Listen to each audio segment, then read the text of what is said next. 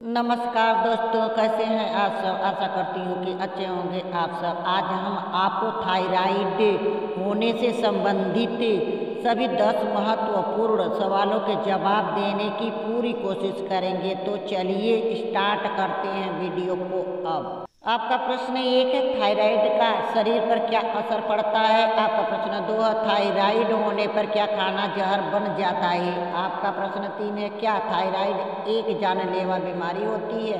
आपका प्रश्न चार है, थायराइड सर्जरी करने में कितना खर्च आता है? आपका प्रश्न पाँच है, थायराइड का घरेलू इलाज क्या हो सकता है? आपका प्रश्न छह है, थायराइड होने का प्रमुख कारण क्या होता है? आपका प्रश्न सात है, थायराइड होने के क्या संकेत हो सकते हैं? आपका प्रश्न आठ है। थायराइड में किन चीज़ों का सेवन करना चाहिए? आपका प्रश्न नौ है, बच्चों को थायराइड कैसे होता है? आपका प्रश्न दस थायराइड कितने प्रकार का होता है? आपका प्रश्न एक है थायराइड का शरीर पर क्या असर पड़ता है? आपका उत्तर है थायराइड का सीधा असर मेटाबॉलिज्म पर पड़ता है, जिसका मुख्य काम शरीर को क्रियाशील रखना है। थायराइड की स्थिति में यह कम हो जाता है और इस बीमारी से पीड़ित कमज़ोर महसूस करता है, जिससे उसकी रोग प्रतिरोधक क्षमता पर भी असर पड़ता है।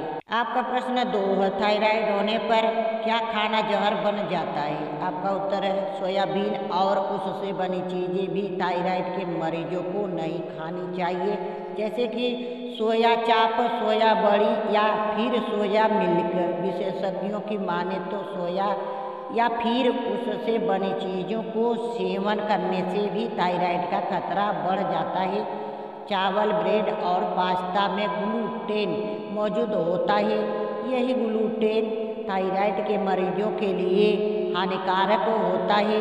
वहीं गेहूँ और जौ के अलावा बाकी साबुत अनाजों में पाया जाने वाला ग्लूटेन एक तरह का प्रोटीन होता है। यही प्रोटीन थायराइड हार्मोन को अनियमित करने के लिए जिम्मेदार होता है। इसके अलावा धूम्रपान, एल्कोहल आदि नशीले पदार्थों से बचें।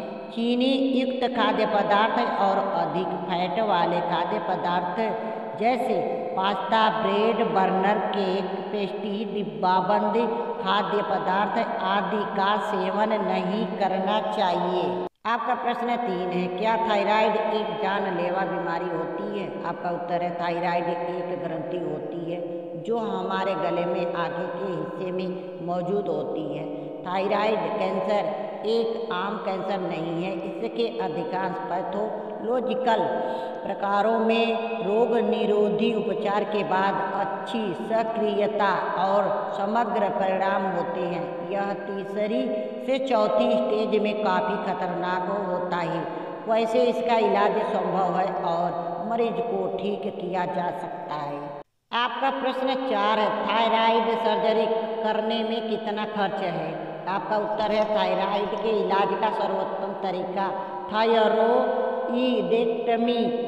सर्जरी है, लेकिन जब कोई डॉक्टर किसी व्यक्ति को इस सर्जरी को कराने की सलाह देते हैं तो उस समय उसके मन में यह सवाल सबसे पहले आता है कि थायरोइडेक्टोमी सर्जरी की कीमत क्या है? उसके लिए इसका उत्तर काफ़ी मायने रखता है, क्योंकि इसका असर उसकी आर्थिक स्थिरता पर पड़ता है। संभवतः अधिकांश लोग इसे एक महँगी प्रक्रिया समझते हो और इसी कारण वे इसे न करा पाए। लेकिन यदि उन्हें यह पता हो कि एक किफ़ायती प्रक्रिया है, जिसकी औसतन लागत मात्र अस्सी हज़ार से एक लाख होती है तो शायद वे इस गले की बीमारी से निजात पा सकते हैं। आपका प्रश्न पाँच है, थायराइड का घरेलू इलाज क्या हो सकता है? आपका उत्तर है, प्रतिदिन दूध में हल्दी पकाकर पीने से भी थायराइड का उपचार होता है। खाली पेट लौकी का जूस पीने से थायराइड रोग में उत्तम काम करता है, यह रोग को शांत करता है। थायराइड के घरेलू उपचार में नियमित रूप से भोजन में थोड़ी मात्रा में काली मिर्च का सेवन करें। अलसी के चूर्ण का उपयोग थायराइड की समस्या में आराम पहुंचाता है, क्योंकि अलसी में पर्याप्त मात्रा में ओमेगा तीन पाया जाता है। ओमेगा तीन थायराइड के कार्य को नियंत्रित करने में मदद करता है, इसलिए थायराइड के रोगियों को नियमित रूप से अलसी के चूर्ण का उपयोग करना चाहिए। नारियल के तेल का उपयोग थायराइड की क्रियाशीलता को बनाए रखने में मदद करता है, इसलिए थायराइड के रोगियों को कुकिंग ऑयल के रूप में नारियल तेल का इस्तेमाल करना चाहिए। आपका प्रश्न छह है, थायराइड होने का प्रमुख कारण क्या होता है? आपका उत्तर है, अधिक तनावपूर्ण जीवन जीने से थायराइड हार्मोन की सक्रियता पर असर पड़ता है। आहार में आयोडीन की मात्रा कम या ज़्यादा होने से थायराइड ग्रंथियाँ विशेष रूप से प्रभावित होती हैं। यह रोग अनुवांशिक भी हो सकता है।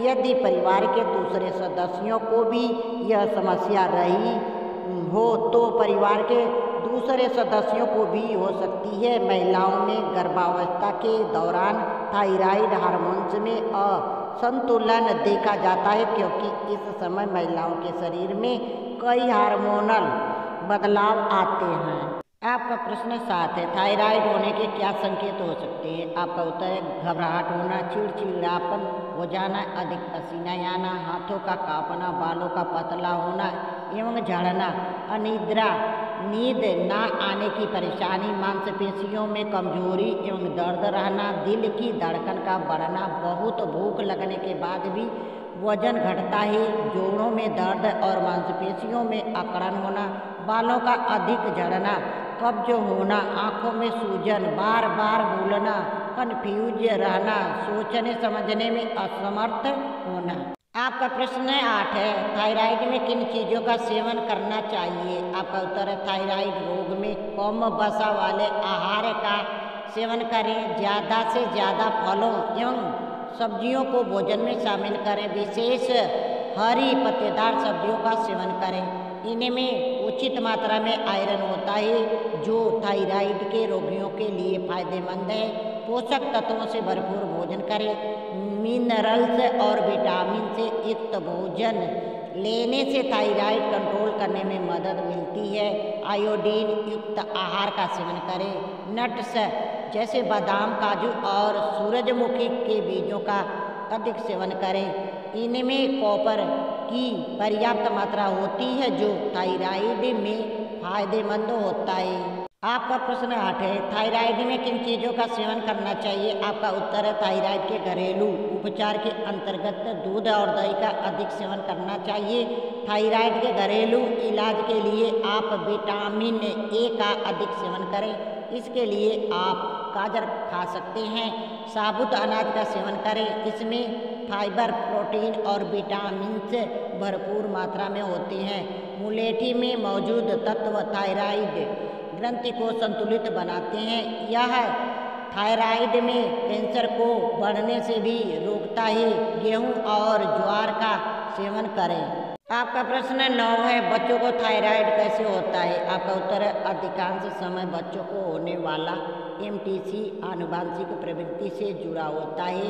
फैमिलियल एमटीसी या टाइप दो multiple endocrine neoplasia M E N syndrome thyroid ग्रंथि गर्दन के सामने के भाग में गले के आधार पर स्थित एक तितली के आकार का अंग होता है। यह दोनों ओर के भागों में व्यवस्थित होता है, एक दाई ओर और एक बाई ओर।